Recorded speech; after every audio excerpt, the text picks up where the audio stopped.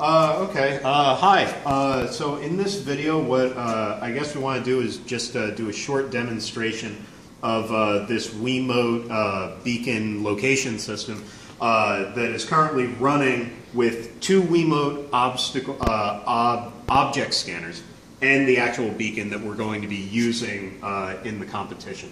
So right now we've got two of these uh, Wiimote uh, sensors. These are the Rocket brand Wiimotes. They're inside of uh, these 3D printed enclosures, which uh, uh, Kelly Robeson on the mechanical team made for us, and they're mounted on top of Parallax standard servo motors, and then plugged into Arduino's, and then being run into a uh, Java program that is handling a particle filter for location.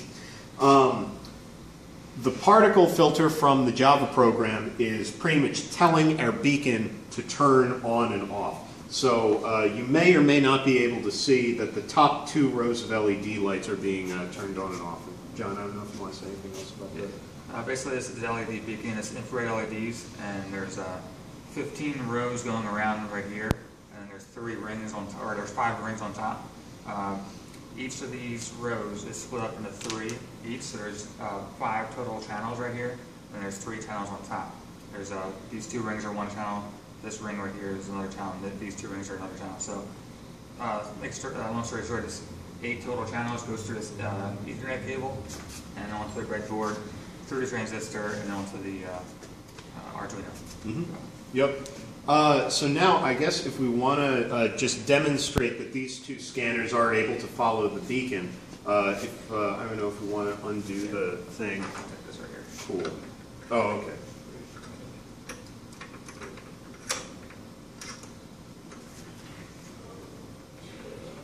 One second. Um,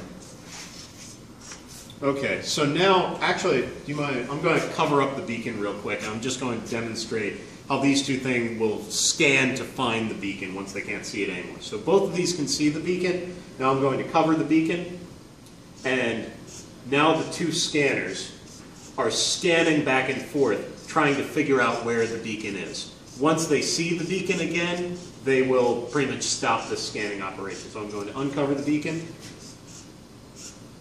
and now they both see the beacon again, so they're locked back onto it. Um, so now, if you want to, uh, if you can move the beacon out just a little bit, so we can see if the two are following. Let me know if I should hold anything. Okay, so they've locked back on, and let's see if we can get just like one scan. There we go. There we got one scan over to the right. If you can see the, oh, it came out. Sorry. Go. Okay, well, we're getting that attached back in. Um, let me just show you one thing on the software real quick. Uh, so this is graphical output from the particle filter that is running on each different beacon.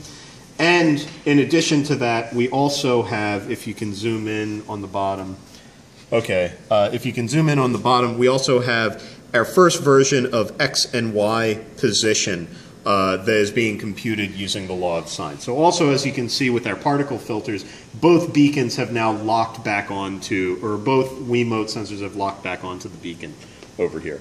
So uh, anyway, I guess that's uh, pretty much everything um, that, that we had to show in this video.